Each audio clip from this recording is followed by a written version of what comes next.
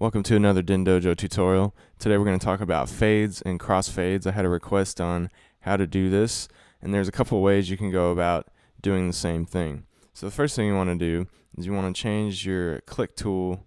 Uh, you can do either one. I usually like to do the right click tool or the uh, Apple click tool. So this is your right one. You're going to go down and change it to the crossfade tool, and this does uh, just like in and out fades as well, uh, plus crossfades. Okay, so let's get rid of this. All right, the song I have here is uh, Revolution of Reason. It goes intro, uh, chorus, verse, chorus, verse, chorus, solo, chorus. Okay, so there's a lot of a lot of stuff in there, but let's say I wanted to take out this entire section right here. Okay, so what we're going to do is we're going to go in first and I'm going to zoom in. This is, uh, the shortcut is hold Apple and then right and left arrow, zoom in and out. And the same goes for up and down. So, okay, so let's listen to this part real quick.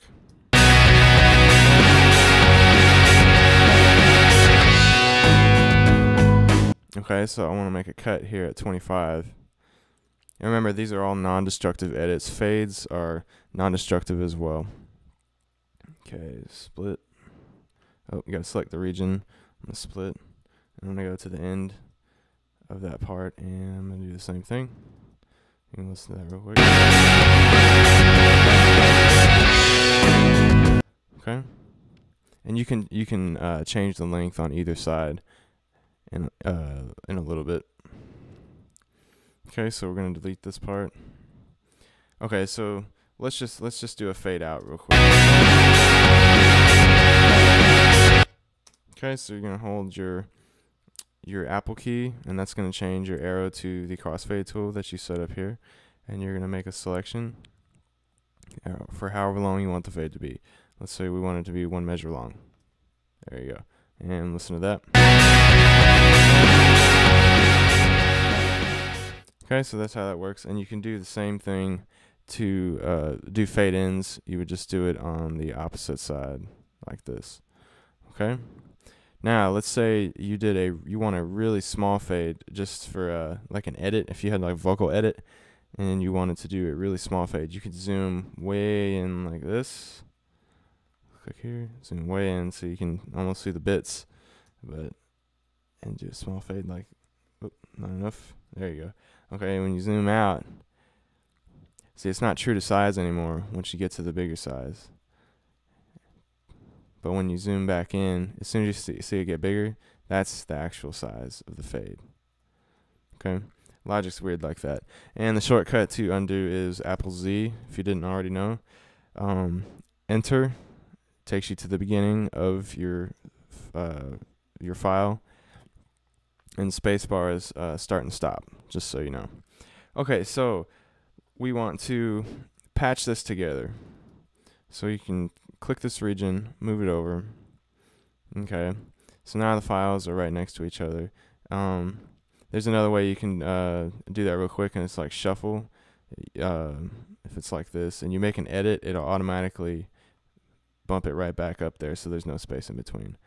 But so these are uh, these are called your drag modes and this is what happens this is what you want logic to do. So if I want it to overlap I can drag this over and this file will overlap but this information is still there. Okay. If I wanted to not have an overlap if I moved it over like this it would just it would shorten this this region so that there's no space. So we'll move this back right? And there you go see? It doesn't it doesn't really cut it. It just shortens the shortens the file because these are all uh, like I said non-destructive edits which means you can change all this stuff and all it's doing all logic is doing is making references to the actual audio file which is saved now in the sample editor down here if you make fades and edits or anything those are all destructive okay so let's undo most of this okay so here we are back to putting it right back on. So now let's say we want to make a crossfade.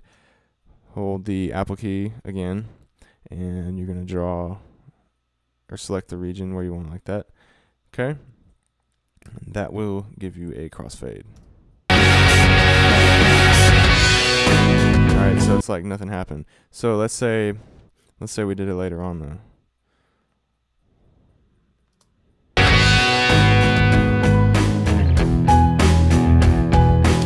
Kind of a level difference there.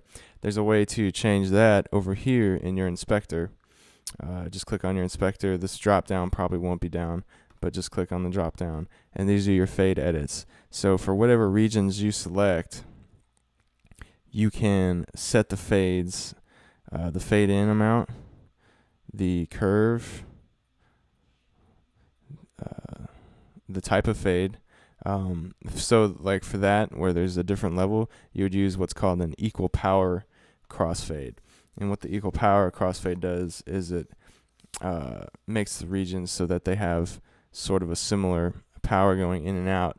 So it should make it a little more even sounding. If you noticed, it got a little louder on the right, the right side here.